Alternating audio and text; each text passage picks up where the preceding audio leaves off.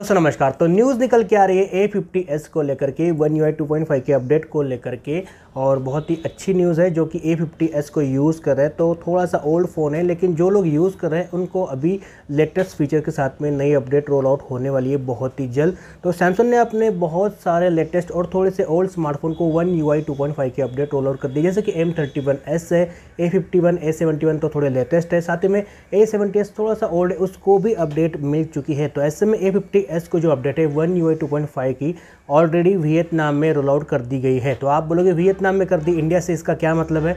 तो बहुत ही जल्दी इंडिया में भी इसको रोल आउट कर दिया जाएगा। नवंबर के एंडिंग में या फिर दिसंबर के एंडिंग एंडिंग तक ये जो अपडेट है इंडिया में ए फिफ्टी को देखने मिल जाएगी।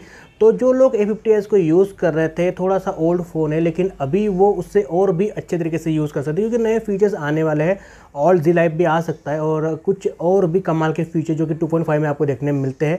तो एम थर्टी वन एस हो या फिर ए सेवेंटी वन हो ए फिफ्टी वन हो, जो भी नए फीचर्स उनमें आपको देखने मिले थे वो आपको ए फिफ्टी एस में देखने मिल सकते हैं, क्योंकि ए सीरीज़ का स्मार्टफ़ोन है। तो जो भी ए फिफ्टी एस यूज़ कर रहे हैं ना, उनके लिए बहुत ही अच्छी गुड न्यूज़ है कि उनको बहुत जल्दी ये अपडेट देखने मिलेगी। और रही बात ए फिफ्टी की तो ए फिफ्टी में अभी तक बिल्कुल ऑफिशियल कन्फर्मेशन नहीं है कि इसको अपडेट मिलेगी या नहीं मिलेगी।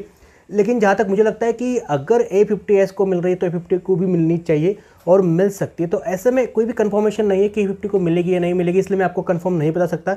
लेकिन जैसे मुझे लगता है कि, मुझे लगता है यानी कि मुझे पता चलता है इंटरनेट सोर्स के साथ में या फिर इसके ऊपर कोई ऑफिशियल सैमसंग कमेंट करता है कि नहीं, हम इसको भी देने वाले फिफ्टी को। तो जैसे ही मुझे पता चलता है, आप सभी को मैं वीडियो के थ्रू अपडेट दे दूँगा कि नहीं भाई, इसको भी अपडेट मिलने वाली है। तो आप भी वेट कीजिए फिफ्टी वाले और ए फिफ्टी वाले तो बहुत ही जल्दी इसको अपडेट मिलने ही वाली है।